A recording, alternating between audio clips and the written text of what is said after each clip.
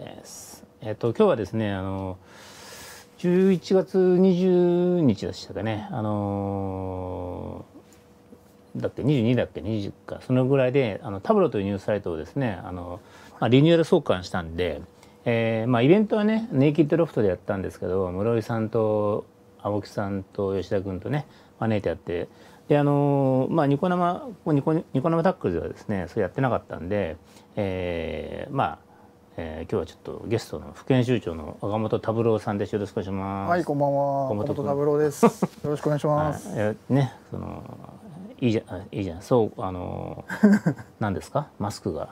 ええー、そうなんです、えー、ちょっと改良版で。改良版で。そうあの、はいはい、この辺をこうぶった切ってですね。ちょっと喋れるようになるほど。ライダーマンみたいにしてます。あちなみにドロータですからね。あの今日はハロプロについてもた語っていただこうかなと。いやいやかっこいいと。私なんかもう本当に。いや。いやなんか周りにハロートばっかりして、うん、AKB の秋元さんに言われちゃったよ「ねなんでなんで?」って。ずっと秋元信之さんねあの Y&A の社長さんに「なんでなの?」って言うから「いやなんでですかね」っつってね。本当にいませんからあの AKB ファンが。それを話すとすごい時間かかる。それでは2日ぐらい飲ま後半でいやいやいや、まあ語っていただきますよ。いや後ろの人もあの上の人もハロータなんでね。あそうなんですね。いやドルそうですねハロータですね。本当にハロータばっかですね。はい。なるほどなるほど。うん。あマードゥは覚えました。工藤さんですね。あこういうかこういう感じで文字が出るんですあこれを拾えばいいです。僕はこんなこっちで見てますけどね。ああなるほど。はい。ということでまああのえー、そのタブローの、はい、えー、何ですか、まあ、マップアップカーズがあるの覚えましたよ、はい、新井さんね、うん、これ大体誰がやってるかわかるな。あそう。で、えー、ハロータね皆さん集まってください、えー、あの広告も出してください。ハロータ集まれみたいなね。あそうですね。ライブの告知とか皆さん出してくださいね。ハローの。ハローのハローの告知を。なるほど。鈴木愛理のあの武道館とかいろいろ出してなんじゃそれ全然わかんないけどまあまあ、まあ、なるほど。鈴木愛理さん。はい。えー、まあ今日はだからそれそれもプラスだ。あとタブローがまあ1か月ちょっとですかね。あの2か月近くなるかもしれないですけど、まあ、まあまあ数字的にはいいいいそうなんで、はい、であのまあ岡本三郎君が選んだベスト5みたいなとかねあとバズったやつはまあ、それだけじゃなくてもね、はい。まあ、いくつかあるんでそれをあの上げながら、はい、その裏側というかなんていうかね、ね、あれば。であと会員限定でですねちょっとこれ出せないかったんですけど出してないのはあの実はあのある政治家の不倫スキャンダルの動画を手に入れたんですがちょっとまだ甘いかなということでですね公開してないんですけどもそれをあの皆さんあの会員の皆さんには見せますのでまあモザイクかけましたけど誰かなって分かってると思いますんで絶対それ YouTube に上げないように 上げてもすぐ消しますからね、うん、はい、あのねそのまあ見てもらえば分かります。それをちょっとか、はい、あの後半ちょっと流しますですけどね、はい、はい、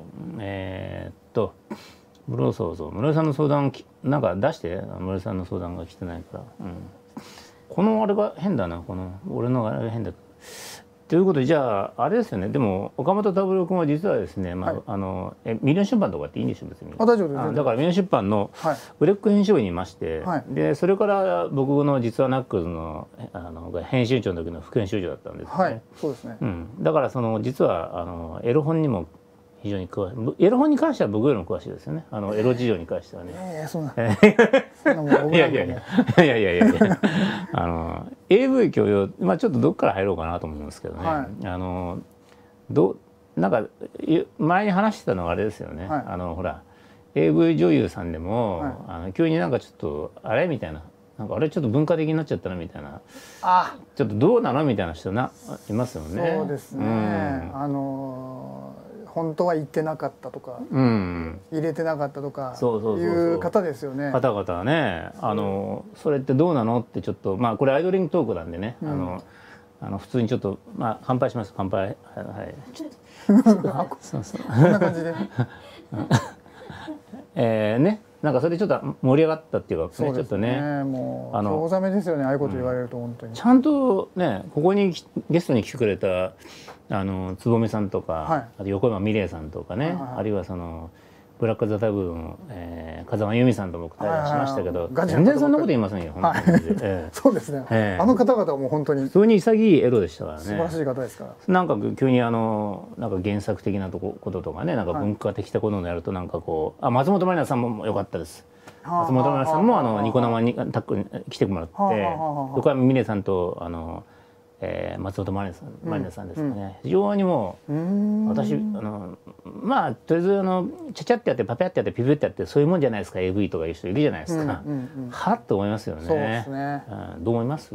いやちょっとなんですか、まあ、僕たちはどうしてもそのあのなんですかね。裏方なんで、はい、それをなんか表に出た時にそういう感じで言われると結構後でショックなんですよね。ねあとそうじゃないですか。と売れっ子でもうん何ですか？グラビアやってた人は急にねあのそうですね。やってましたっけ？私みたいな。あのそうです、ね、女優女優ですけどみたいな、はいはい、なんかあの黒歴史にするんですよ勝手に。売れてから、はいはいはい、いやいやいやと思って。ねあの時必死だったじゃんあんたみたいな感じですけど。ねそういうちょっと嫌ですよね、えー、もやもやしますよね。そうですね。だ僕なんかそのちょまだ名前を出す。多分ねあの、うん、タブロっていうのはですね一応あのなん偉そうな人は嫌だっていうタイトルなんで、はい。はいまあそんな AV 女優の人は別に偉偉そうな人だから叩くわけじゃないですけど、うんうん、ただ言いたいことは言いたいんでね。もしその方がちょっとそうあまりにもだった時はちょっと実名出してちょっとおかしいんじゃないのという言い言うた言おうかなと思ってますけど僕はね、うん、言うタイミングですけどね。やっぱあのカメラマンさんもやっぱ撮りにくいって言ってらっしゃいますねやっぱ、うん、皆さん、うんうん、あのこうカメラ向けても、すごいプロだから、プロっぽくやられるわけですよ、うん、結構現場ってその AV のやつ？それともグラビア？あのグラビアも AV もそうなんですけど、うん、例えばスチールとかでも、えー、なんかこうカメラマンさん冗談言い合いながら、うん、その2人がこうちょっとカップルみたいにその時間だけはなるみたいな形なんですよ。そうですよね。それでまあそういうノリがあって現場が進んでいくんですけど、ちょっと休憩とかしてると「これ何待ちですか?」とか言ったりするんですよね。なるほどなるほど。なんか私できる女みたいな感じを出してくるんでなるほど。すげえやりにくいなっていう、ええ、っていう話はよく聞きますね。はい、うん、そう。偉そう。だからそう偉そうな人はここありがとうござい。ます。え。ー、ん？坊さんのすまあまあまあまあそうですよ。そういう人がね、うん、たまにいらっしゃるなと、うん、僕もねあの番組で一緒になったなれましたけどね。あのバズーカっていう番組でね。あ、はいはい、あの漫画家さんになったのかな、うん、いや AV っていうのはツイートしましたけどパパってやってピューってやってチュチュってやってもう「はいお疲れ」って感じじゃないですかとか言ってるからそれはねあのまあたとえあなたがそうだとしても、言うべきじゃないよねっていうのがね、うん、ありますけどね。そまあ、それと AV 教養ってまた別になってくるんですけど、はい、ねどう思います？AV 教養。AV 教養ってなんか最近やたら新聞が取り上げてるんですけど。今回じゃないです。よ今回じゃないです、うん、そう、うんまあなんなんですか、まあ、アラサーです。あのいやごめんコメント読んでコメントです、ね、あのかまず喋っていいです。僕、はい、あのコメント読むのは,、あの読みますって言っちゃってるんで読ま読みますので。うん、なんか新聞がすごく嬉しがって取り上げてるんですけど、うん、なんなんか違和感ありますよねあれも。ちょっと何言ってんだろうなみたいな。そうですね。だからまあ実際に教養はあるんでしょうけども、うん、あの例えばまあいろんななんですかビデオ・ザ・ワールドに書いてたねライターさんとか、まあ、まあ、普通に本橋信さんとかね藤木さんとか沢木さんとかいろんな人に聞いても例えばまあまあ共有された人もいらっしゃるんでしょうけども、うん、いらっしゃるといるんでしょうけども、うん、2 3 0分出てて共有してされてるんですけどっていう人もい言いましたよねなんかね。あそうですね50本近く50本近くそれ共有っていうのも どうなんでしょうみたいなね。訴えるみたいな。うん、それを仕事でそうじゃなくてまあ確かに23問でねあの共有された人も多分。いるんでしょうけれどもね、うん、っていう感じですね。うん、そうですね。うん、まあでも、だどどの種類の女優さんかっていうのはまた違ってくると思うんで、うん、まあ、例えば売れっ子がよく撮ってた、はい、あのまあ、売れっ子ちょっと今日持ってきましたけどお懐かしいです、ね、こういう雑誌ですね。もう綺麗。これあれじゃないですか？これめぐみですめぐみじゃん。はい。後ろのめぐみかエロいよ。全く売れてなかった頃誰も知らなかった頃のめぐみなんですいいですね、はい、いいですねこれお台場のスタジオで撮ったんですけど、ね。うん、すごいいい体してますよね、うん、でまあこういう本なんで、うん、大体単体が多いんですよやっぱり、はいはい、その女優さんの名前だけで売れ、有名な女優さんの名前だけで売れる、うん、えー、ビデオっていうか、まあそういう女優さんは単体の女優さんって言うんですけど、うん、まあ単体さんはやっぱ皆さんがもうすごいちやほやするんで、うん、やっぱちょっと扱いが違うんですよね。新山愛理って新山愛理。エリかそんなにめぐみが一番やっぱこの中ではビッグネームですか、ね、まあまあ水着なんですけど水着さんは。えこれでもそっか。エロ本だよね。そうその他はあヌヌードですね。そっかそっかはい。イエローキャブだっけ、うん、この人はイエローキャブですはい当時。うん。貫禄つきましたよね。そうですね。ね、うん、まあなんか単体に限ってはやっぱりちょっと、もらうお金とかですね、はいはい、かける宣伝費とかも全然違ってくるんで、うん、そのそこはちょっと教養って言われても、うん、なんかちょっとステージが違うんですよね。うん、でその新聞が嬉しそうに取り上げてるのは、大体あの1本3万円とかもらいましたって言ってるんで、いわゆる企画なんですよね、うん、企画女優さんなんでまあ企画女優っていうのもピンからキリまでいますからそうですね、うん、キカタンって言われる人たちから、ね、もうで名前もない、うん、名前もない女たちですよ。まさに中村敦子さんのね、はい、はいはい。中村さん叩かれてますね。叩かれてますけどね。ぶったたかれてますね、えー、はい。よんあんまり読んでないんだけどひひどいのかねあれね。あのまあまあ、なんだろう読んだ？中村さんの読みました読みました、はい、名前のない、はい、あれと長あの英語女優なんだっけ長長亡くなっちゃった長英語女優書いた人なんだっけ？亡くなっちゃったですけどあの白河資料から英語女優書いてヒットした亡くなっちゃった長、えー、アル中で亡くなってしまった長何しかの人。英語女優のさあのー、あれです。誰かな流してくれます。長ほら AV 女優の書いた人。あ、ね、長澤光雄さんか違ったっけ？あの人と違うんでしょうね多分ね。長澤光雄さんと違うのがね。長澤さんの読みましたけどね。中村さんの実は僕あんま読んでないんですよね。でなんかこうすごい叩かれてましたね、まあ、実はタブロでもちょっと書いたら非常にあの、うん。そうですね、反響がありましてですね。多分ちょっと見解が違うと思うんですよ、うん、中村さんとは。うん、でやっぱりその確かに名前のない女たちの扱いっていうのは、うん、確かにひどいものがありますよね。あそうなんだ。そのひどい。ひどいというかまあ本当に大部屋に押し込められるみたいな大部屋じゃないその小部屋ですけどね、うん、ワンルームマンションに押し何人も押し込められるみたいな。うん。扱いを受けてる人たちもいますしその辺の話になってくるとやっぱちょっとひどいんですけど。あ中村さんの書き方がじゃなくて？ああその女の子たち、ね、実際にってことですか、はい、実際に。へえなるほど。ただまあそれはもうやっぱ事務所にもよりますし、うん、うんよく回る女の子はやっぱ大切にされますし。ああ。まあでも実際なんかね、あのこのタブローでも吉田君書いてたようにあの吉田剛君書いてた通り、はい、あのえっとなんか騙された AV にななんかね人がいましたよね。ありましたね。あ間違えちゃった。そうそういるんで。こっちあ間違えちゃった。また。いるんでそれ辺はちょっとちょあれですね。あツイッターの方行っちゃった。もうこれちょっとやりなそう。うん。ななど誰か誰か騙されてたよね、うん、誰か騙されてたね。あほのかほのかほのかほのかも。ほのかも。そうほのかとか。あ浅間由美ですね。浅間由美さん。ああはあはあはあもこうちょっと騙された系のって言ってましたね。なるほど。うん。騙されたあ本人が言ってるんでしたっけ？本人が。これは自分で確か書いてたんだと思うよあの人は。浅間美さん。しかしそうっすかえ何？何いや大体撮ったことあるんで。あそうなの？微妙ですよね本当に。ああ複雑な心境ですよね。あそうなの？うん。浅間浅見ゆまごめんなさい。浅見ゆまそうそうそう、はいはい、失礼しました。浅見。あの大病されて。そう大病されて、ね、すごいあのただあの性格が本当に悪いっていう人は一人目長いそうめちゃくちゃいい。ですよね。はい、浅見さんが騙されたというふうにこう告白されてましたよね。なるほど。そう事前にね、うん、そうそう。あとほのかさんもそうですね。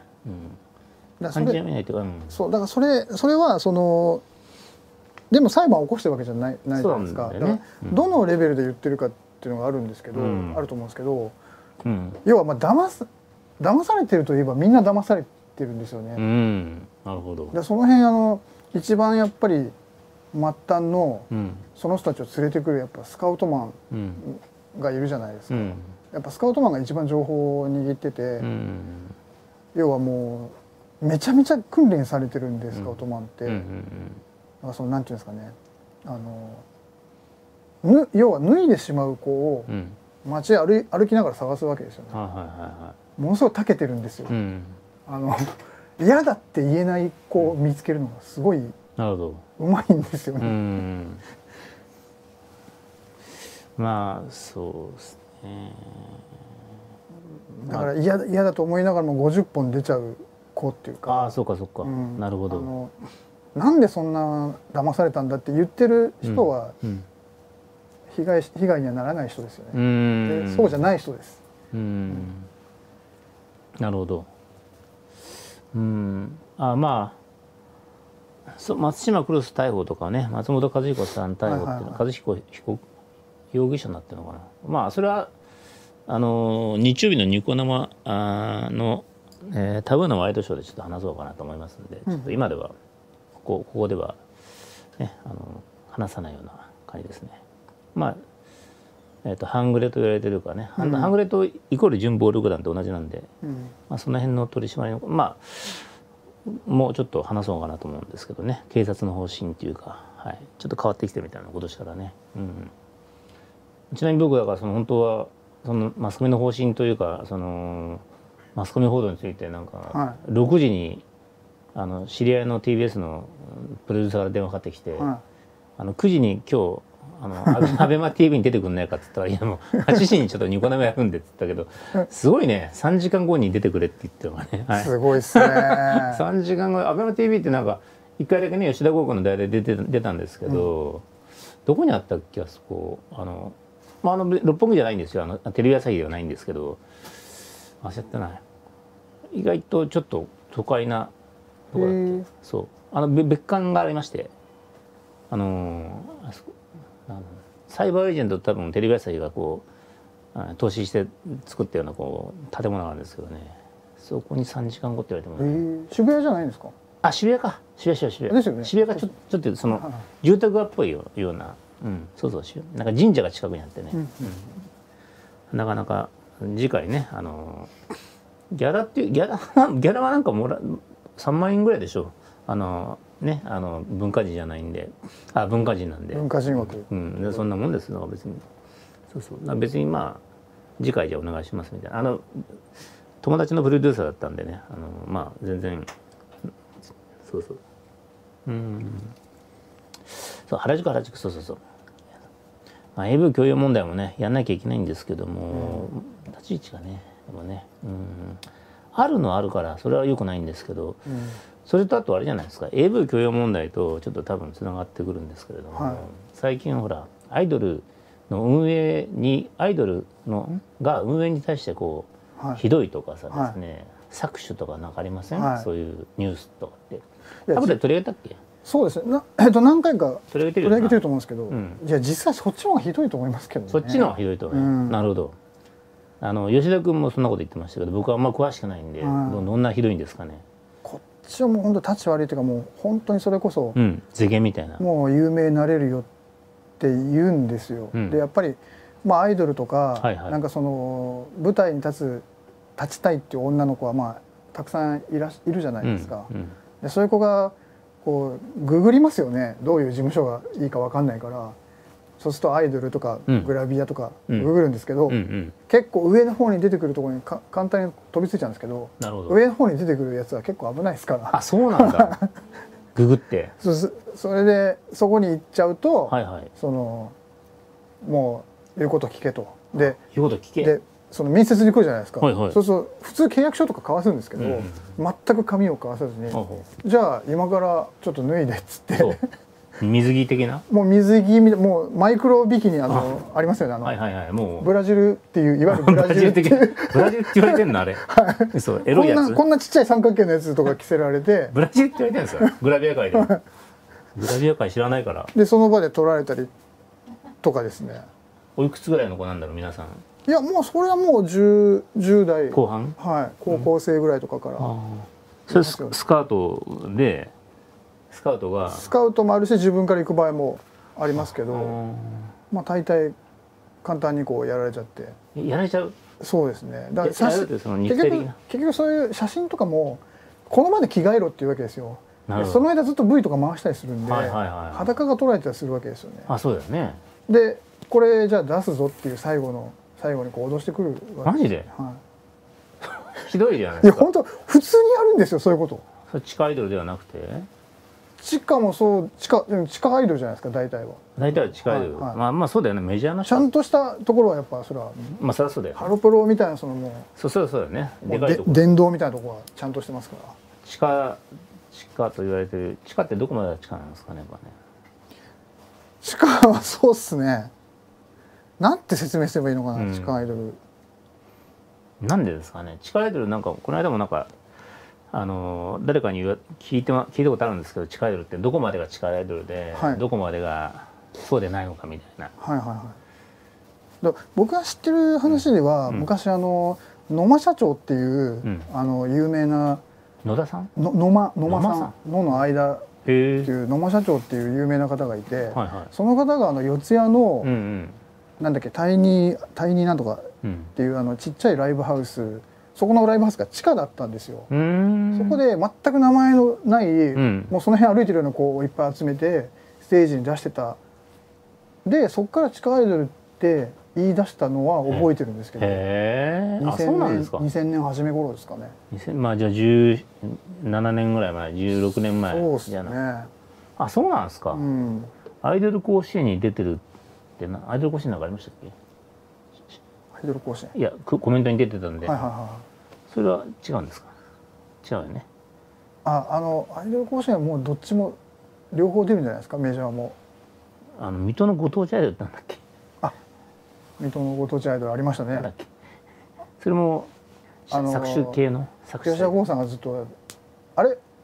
久田さん話してませんでした？その話どっかで。いや話してないと思いますああ公式なのでね。あそこか俺はだから全然わかんないからさ。水戸のあの話だけ聞いてマジでそんなひどいことあったんだみたいな感じは。あそれ聞いてただけなんですか？そうそうそう。その 調べてない。全然わかんないですよ。まるで久田さんが詳しいような感じでネットニュースになってましたけどね。ああ水戸のやつ。あれね書き起こし本当に問題がありまして、うん、ニコニコニュース、うんうん、いろんな人からブーイング食らってるんですよ、ね、僕読んでないもんそれだって。全く詳しくないやんな めちゃめちゃだってあの時久田さんがちょうど真ん中に座ってるから確かそうですよね。あの写真が。いや僕は端っこ。端っこでしたっけ？そう、うん、もうなんかすごい目立ってましたけどね、うん、全然詳しくないっていうかまあ書き方がね非常に問題なんですよ。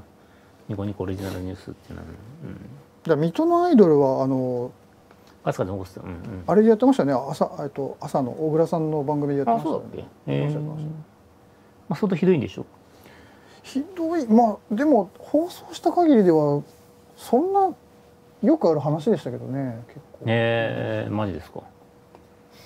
なんかあのなヤヤクザみたいなもんいいの？いやいやそんなんじゃない。でもない。あ、はい、そうか。ヤクザみたいなももっとあれか。あのちょっと秋葉系っていうと失礼だあれだけどちょっとそのなんかあれか。そうそうです、ね、あのそうですね。あのあれか。それ系です、ね、あの牛島君出てるような来るような悪党みたいな感じですかね半グレほどちょっと荒々しくないというか。あなるほど。ちゃんとそっち系の人だったらもっとちゃんとやると思うんで。ああそうですね、はい、そうそうそうそうそう。うんでもないような、はい、ちょっと。で大体業界で誰も知らないようなやつが始めるんですけど。で女の子は何も知らないんで、うん、じゃあお前もう本当にこの業界にいられなくしてやるぞって言うんですよ。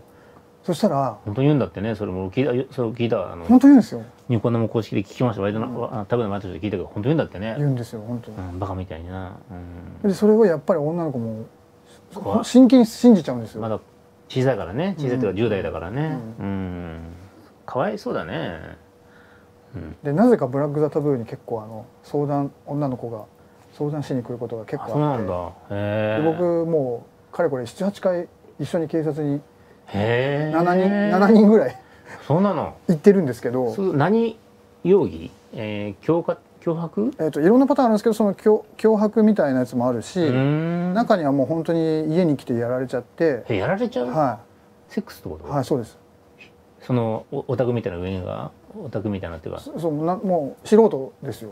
素人に毛が生えたようなやつが。なるほど。そうだよね、そうだね。ちょっと家まで行くからっつって、うん、夜中に家に来ていきなり襲われてとかマジで、はい、東京？東京ですよ。都内の話で。はい。新宿区です。へえ。本当に、はい、それはもう強姦じゃん、はい、強姦致傷とかそういうあれだね、あの罪状でいうとあの訴えるとするだね。そうですね。前科もひどいね、うん、で本当にあるんだね。撮影会をたくさんやってるとこっていうのは、うん、ちゃんとしたとこもあるんですけど結構怪しいとこが多くて。撮影会を。はい。ほうほう。いきなり来た女の子をじゃあ明日お前撮影会なって言うわけですよ、うん。でそんな客来るわけないじゃないですか。そうだね、うん、その子知らないのに。そうそうそうそうだわね。でも一応水着の格好をさせてスタジオで待ってるんですけど。ブラジル？ブラジルで。ブラジルで？ブラジルで？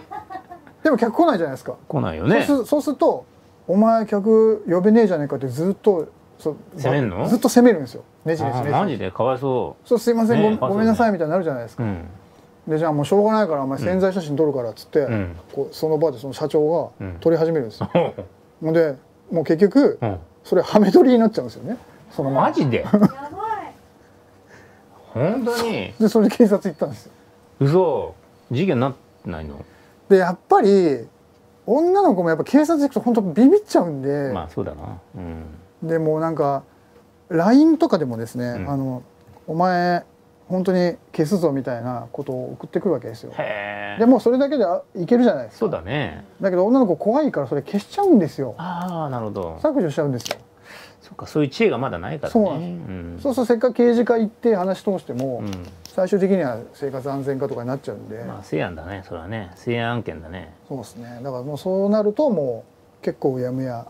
うやむやな。の、ね、はい出した方がいいねそれねまだいいの？じゃそういう下道があのいますいますコメントも下道がっていますいます僕ちょっとそれ実名を出すのをちょっとあのタイミング狙ってるとこなんでこの間タブロで書いてなかったタブロ法タブロ法打とうかな？タブロ法ダブル法打った方がいいんじゃないですか？あの全部証拠は全部揃ってますから。証拠は揃って。はい。どうどういう証拠は揃って、あそのあれ？ラインとかの証拠。あのー、あのですね。ええ、非常に間抜けな話なんですけど。ええ、あのー、まあ親にもいないねその。写真を撮りながらこっち動画を撮ってるわけですよ。はい、で、その動画のスイッチ入ったままここに置いて、うん、はいじゃあ脱いでもういいいいから脱いでってはめ撮りしてるところをこの動画で撮られて。ってて、女の子がその SD カード抜いてきたんですよああなるほどそれ持ってるの？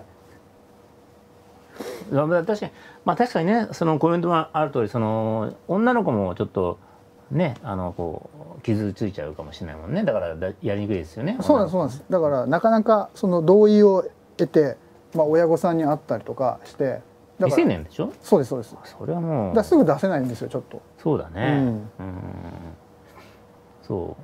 タブロ法でねそれね。タブロ法でちょタイミングをは文春ほどあのでかくないけどこう小さくね多分あの 機関銃のような感じで、ね、細い針をパンパンパンパンそう。ドカーンとかじゃなくてねあのちょっとほら爪楊枝のボウガンぐらい。パンパンそうそう爪楊枝。あったなあいつ。あれもひどかったな そうそう。まあいろんな法ねあの文春法っていうのちょっとずれますけど言われてますけど、はい。そんなこと言われね言うのだったら身長法だって朝毛法だってありますからね。そうですよそう言言えっつうんだよ。それ僕思いますけどね。そうですよ。持ち上げすぎ。うん、うん。まあ、置いといて、まあ、タブロ法やりたいですねじゃあね。そうですね。ちっちゃなボウガンでね、はい。うん、あれもう売ってないんだよね。あのこの間あのアマゾンでね、はい、ちょっと車で取材してね、はい、あのそんなことあんだみたいなさ、はい、でアマゾンでググったらもう売ってないと。すぐ売ってなかったですね。そうそう。なんだっけあの大阪の方の焼肉屋で ひでえやつがいるよね本当にな。本当ぶん殴ってっけどなマジで、うん。ね、爪楊枝ボウガンがあるっていうのは初めて知りましたね知りましたね、うん、まあねちょっとあれだよね。あのああいうパワハラっていうのはさ出版業界でもありますから ありますよね、はい。はい。はい、あありますよね。部下が上司が部下をまあ罵倒するのもよくないですけども、はい、暴力ありますからね。暴力はちょっとダメですね、ね。いやひどい暴力ありましたから、ね、ダメですね。僕も知ってる限りでね。そうですね。部下部下を BB 弾で撃ったりしちゃダメですねダメね。だったら俺ぶん殴り返すけどね絶対に。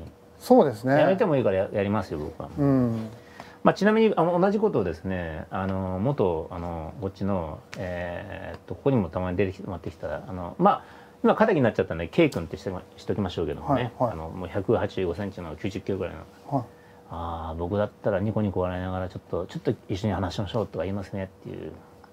だから強いやつにやんないんだよなそういうやつってね、うん、よくないよそういうのはね。確かに確かに。ダメですよ最悪だよねそれはね、うん、それはちょっとよくないですね。逆はいいんだよ別に。あのあの部下が上司をに逆らうっていうのはまだまだ俺まだ許せると思います。あのそうですね、うん、なんか息がいいいいそうそうそうそうそう。そうまだまだ許せます、はい、パワハラはいくないですね、うん、まあ本当にじゃあタブロフをねうん。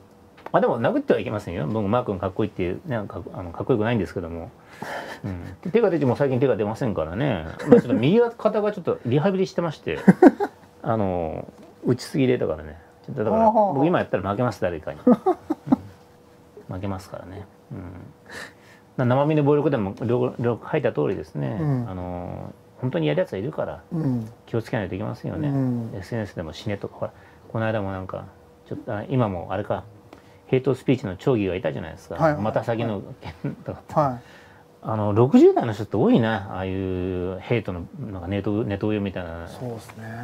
なんあの戦戦争に行ったことないのに威勢のいいこと言うやつってムカつくないですよ、本当に行った人って絶対言わないもんね本当にね。ね。あのインパーラ作戦に行った人のテレビ見てたけど絶対戦争やっちゃいけないとかさ言うもんね、うん、本当に、うん、行ったことないやろうな。本当に腹立つわ、うん、40肩じゃなくてあのあのあの打ち打ちすぎですあの フックの打ちすぎですね。かか炎症を起こしちゃって、はい、そう目覚めちゃった人ですねそうそうそう。ダメですよ本当に、学生運動世代でもないんじゃないですか。学生運動じゃない？だってもっと60だとそうじゃない？あの学生運動はもう70です。よ。70ですよ、全教徒っていうのはね。もっと下ですよ。60ぐらいっていうと昭和30年代生まれかな。そうですね。百田直樹世代ですね、うん、うん、とかあれ。高須院長世代じゃないですか、ね、あ、うん、あそまだそんな。70でしょあの人。高須さんってちょ高須克也あそうですよね、うん、あってことは思いっきり全教徒世代ですよね。ああれ全教徒だね。そうだね。そうですね。あそこか。長義は59だから60か。そうかそうか70歳ぐらい昭和22年ぐらいとかじゃないですか。そうか,、そうか。ちょっと 10, 10歳違うのかな。うん。そうそうですよ。っていう感じがしましたけどね。うん。なんでそんな話になったことなんだっけ？あそうボーガンの話でそうなっちゃったのか、うん、パワハラですか？パワハラですね。そうそう。まあそういうのがねあので今日のだからニュース。でまあちょっと俺も書こうかなと思ったんですけどあのパワーラあのヘイト町議ヘイトヘイトスピーチやってた町議ね、うんうん、それに「いいね」押すってやつがいるってこと自体がすごいよな、調子乗ったんだろうね。まあでもそれは現実なんだろうね、うん、それに「いいね」押しちゃうっていう「いいね」いいねがフェイスブックって「いいね」ってあったっけ？わかんないけど。ありますよ。ツイッターあるけどね、はい、そう、うん、岡本さん久田さんはアフガンのライブに出てきて。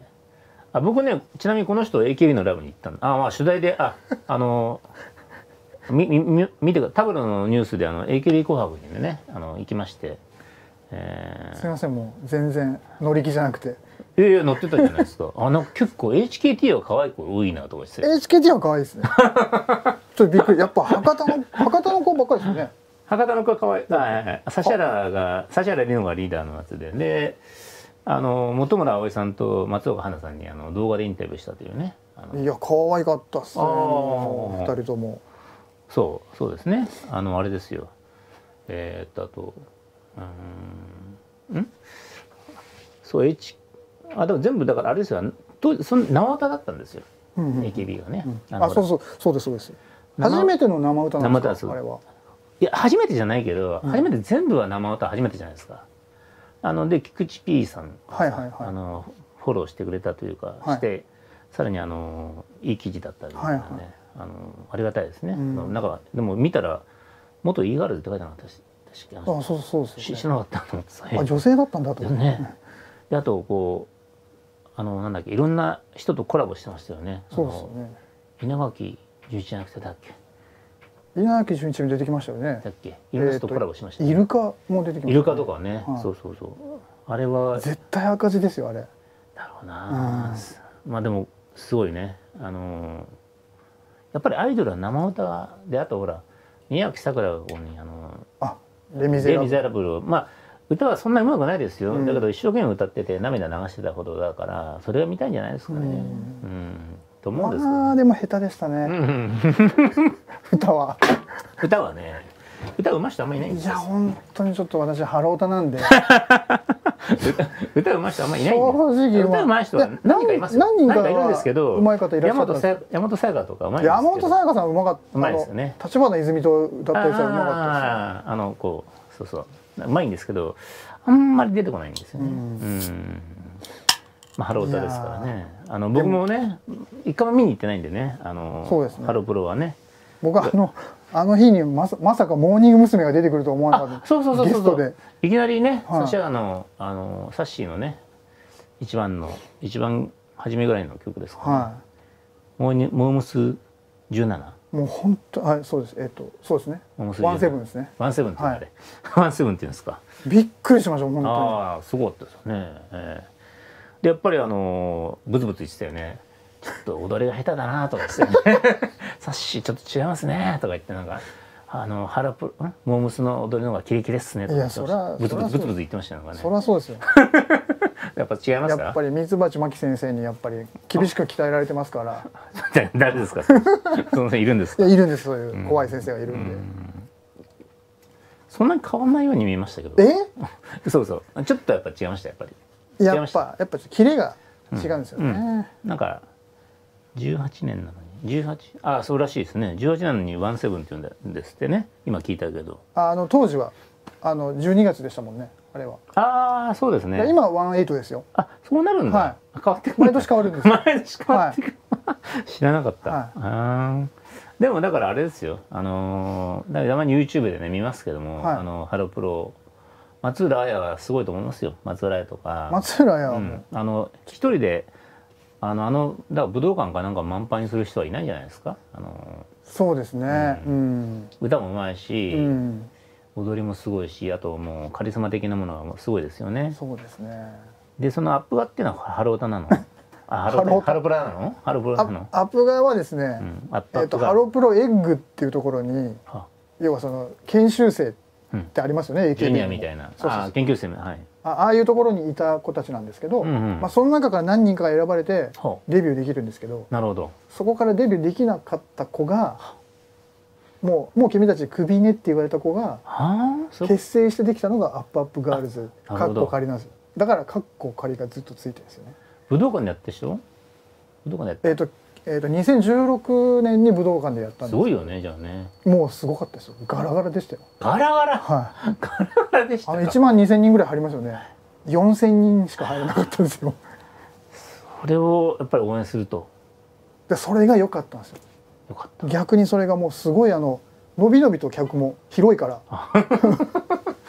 全然入ってないですごい伸び伸び動けるんですよ。すごい楽しかったです。ミミックスミックスとかやるの？あよし行くぞファイファイバータイガーあああいうのはあんまりあれはないですけど、うん、へえ。でもちょっと2人辞めちゃったんで去年アップガの方は。あそうなんですか、はい、今5人で。さん？じゃいや新井さんいます。いますか、うん、はい、新井さんしか知らない。それ知ってるってすごいですね。うん。なマードゥと、はい。まあまだあの引退しましたよね、工藤さんはね。はい。ドゥは引退しました。ドゥの方はね。今あの戦隊もの出てますけど。あ、関根さんアップガじゃない？関根あずささん。あ、はい。そうそうアップガですアップガです。ここちらも出てくるけど、こっちも、そうですね。のびのびと。AKB も AKB ありますよだから HKT あのサッシーはやっぱりそのオタのことすごいあの分かってるから、うん、ミックスがやりやすい曲で最高歌謡っていうのを作ったんですよね。うんうんうん、ああよっしゃ行くぞってなうん、最高歌謡だったっけな？多分最高歌謡だと思うんだけどね。椿ファクトリー覚えてますよ？だから。お拳ファクトリーじゃなかったっけ？そんな出てます。あ椿と拳いるんですよ。コメントこっちに出てこないの？こっち？コメントってねね石村さんどっち？どっちに出てくるあここであ出てきます。そうそうそう。こっちに出てきますよ。はいはい。